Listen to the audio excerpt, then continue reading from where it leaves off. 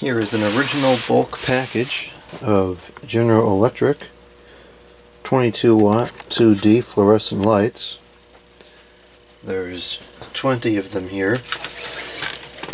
I got these for a couple dollars a piece. It was a really good deal.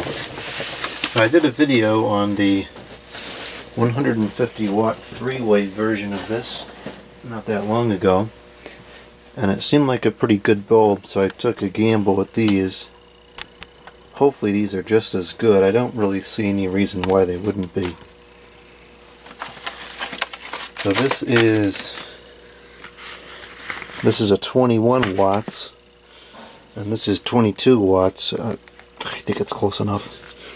And it does have the mercury which is fine because you can recycle it and it doesn't leave the thing while it's in normal operation 2700K color temperature 1350 lumens and it claims to last about 8,000 hours.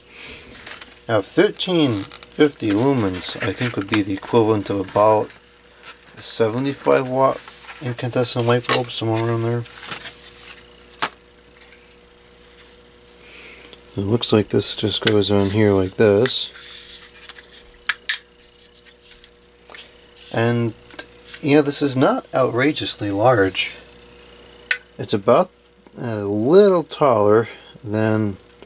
Hmm, actually, it's right about the same height. In fact, the bulb is slightly shorter than an, a regular incandescent bulb. Obviously, it's wider, but the height is what was the issue in most lamps when it came to the older CFLs.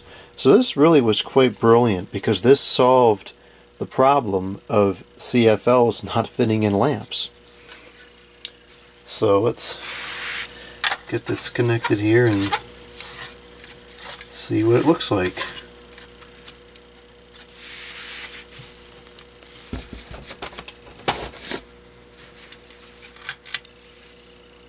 It's not quite preheat, but I did see a little bit of flicker there before it started up, so it's definitely not that ridiculous rapid instant start, not rapid, instant start I think is what the branding is, uh, which just burns through the tubes in no time.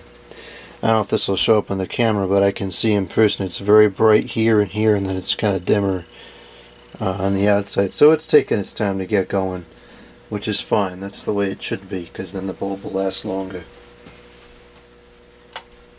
Very nice color. It's It looks exactly like an incandescent bulb. 2700K.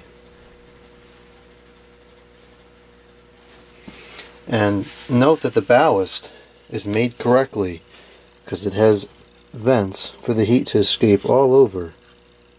And even if you were to install this like this, the heat is next to it, it's not above it. So this probably would fare just fine in a fixture where the ballast mounts up, whereas a traditional CFL doesn't usually fare too well in that kind of a scenario.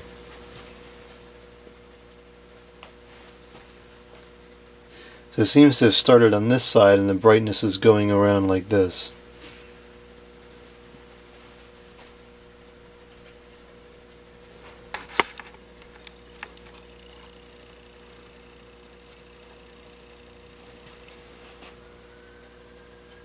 Oh, here's Cyrene.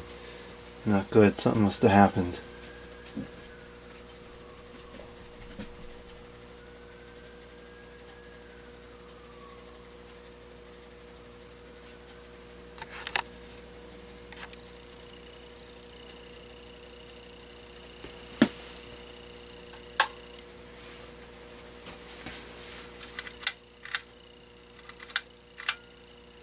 Yeah, it's definitely not instant start, which is good.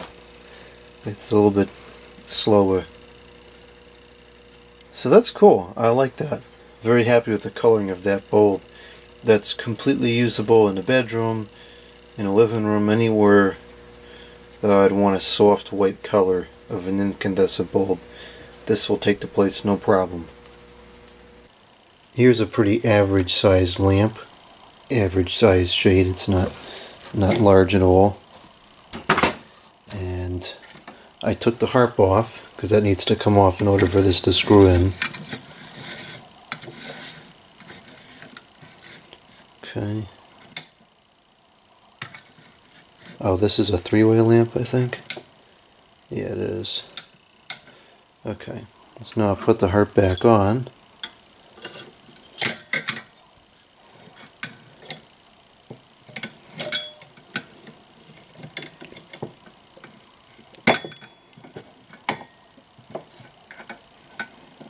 And it fits on there with no problem. The uh, harp goes right through there. And then the shade will go on.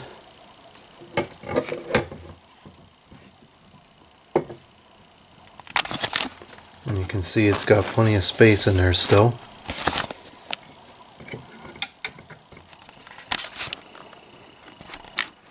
And it looks nice.